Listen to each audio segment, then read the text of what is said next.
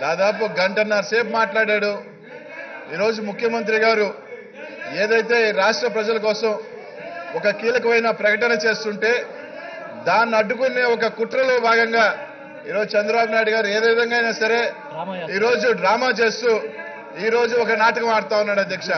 ఈ రోజు మా ముఖ్యమంత్రి గారు ఏదైతే ఈ రోజు ప్రజలకు అందేశం సందేశం పోకూడదు ప్రజల్లోకి వెళ్ళకూడదని చెప్పి ఈ రోజు దాదాపు గంట సేపు మాట్లాడి గత ఐదు సంవత్సరాలు మా మా నాయకులు గారు ఆ రోజు అక్కడ ప్రతిపక్షంలో ఉంటే ఐదు నిమిషాలు కూడా అధ్యక్ష.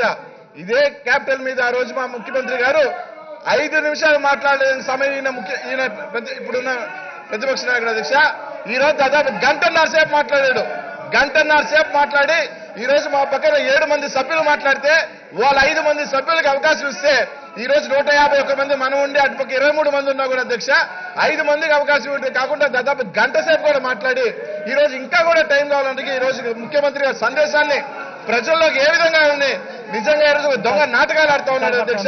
ఈ రోజు విశాఖపట్నం ప్రజలే కాదు ఈ రోజు మొత్తం రాయలసీమ ప్రాంతానికి కానీ ఏ విధంగా ఈ రోజు ఈరోజు రోజు జగన్మోహన్ రెడ్డి గారు ఈ రోజు ఈ ప్రాంతాల రైతాంగానికి సంబంధించి ముఖ్యంగా వెనుకబడిన ప్రాంతాలకు సంబంధించి ఈ రోజు ఒక సందేశం ఇవ్వబోతుంటే దాన్ని అడ్డుకునే ప్రయత్నం కూడా చేస్తున్నారు అధ్యక్ష.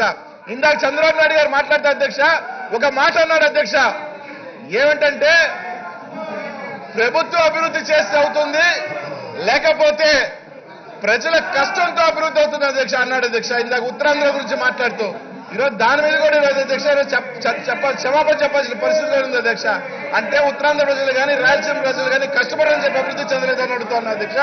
ఖచ్చితంగా ఈరోజు సిగ్గు శరం ఉంటే వీళ్ళు అధ్యక్ష వీళ్ళకి కానీ కనీసం సిగ్గు శరం ఉంటే ఈ పార్టీకి వాళ్ళు ఖాళీ చేసన్నా వెళ్తారు. లేకపోతే గమ్ముగానే వింటారు అధ్యక్ష.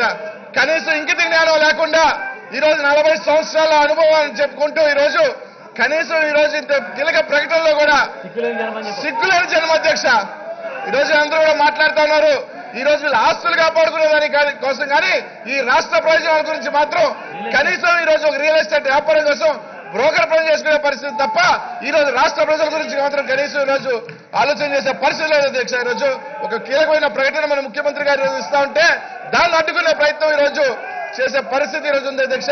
ఈ రాష్ట్ర ప్రజలందరూ కూడా గమనిస్తా ఉన్నారు. ఖచ్చితంగా ఈ రాష్ట్ర ప్రజలు కూడా గమనిస్తా ఉన్నారు. ఈ రోజు ఏదైతే మొత్తానికి ప్రతిపక్ష నాయకుడు కానీ ఖచ్చితంగా క్షమాపణ చెప్పే పరిస్థితి ఉంది అధ్యక్ష. ఈ రోజు ఐదు కోట్ల ఆంధ్రులకి ఖచ్చితంగా క్షమాపణ చెప్పాలా బుచ్చన్న నువ్వు బొచ్చెత్తుకోపో టైం అయింది.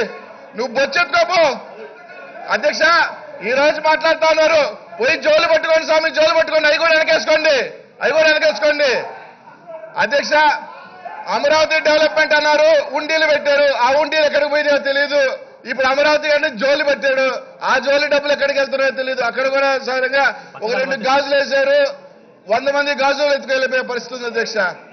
ఈరోజు ఈ విధంగా ఖచ్చితంగా ఈ రోజు ఖచ్చితంగా క్షమాపణ చెప్పారు. పరిస్థితులు చెప్పాల్సిన తీరు కూడా ఉంది అధ్యక్ష. చంద్రబాబు నాయుడు ఈ రాష్ట్రానికి అంతా కూడా ముఖ్యంగా ఉత్తరాంధ్ర ప్రజలకు కానీ రాయలసీమ ప్రజలకు కానీ ఈ రోజు క్ష- ఖచ్చితంగా ఈ రోజు చరిత్రలో ఈ రోజు చంద్రబాబు నాయుడు గారు ఖచ్చితంగా కూడా ఈ రాష్ట్ర ప్రజలు గుర్తుపెట్టుకుంటారు అధ్యక్ష.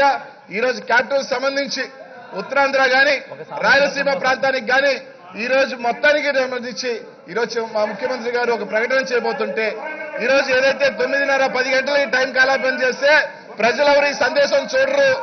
ప్రజలందరూ ఇది చేసే పరిస్థితి ఈ రోజు ఉంది అధ్యక్ష. ఈరోజు చూస్తా ఉన్నాం. ఈరోజు ప్రజలందరూ కూడా చూస్తా ఉన్నారు. ఇంత టైం ఇచ్చినప్పటికి కూడా కనీసం కనీసం చంద్రబాబు నాయుడు గారికి ఇప్పటికైనా సరే ఇప్పటికైనా సరే జ్ఞానోదయం సిగ్గు సేవం తెచ్చుకుంటారో తెలియదు అని ప్రజల్ని రెచ్చగొట్టే ప్రయత్నం ఈరోజు చేస్తా ఉన్నారు అధ్యక్ష. ఖచ్చితంగా చంద్రబాబు నాయుడు గారు క్షమాపణ చెప్పి తీరాల్సిందే అధ్యక్ష.